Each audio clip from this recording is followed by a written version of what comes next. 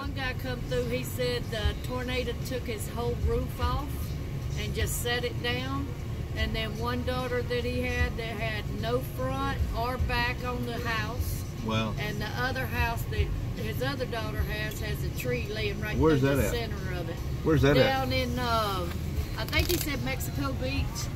We're headed towards Marianna. Do you know how much damage they got? They got a pretty good bit that way too. And mainly trees falling, electrical power. In Tallahassee, we got to go there next. So we're just trying to get a little snack on the road.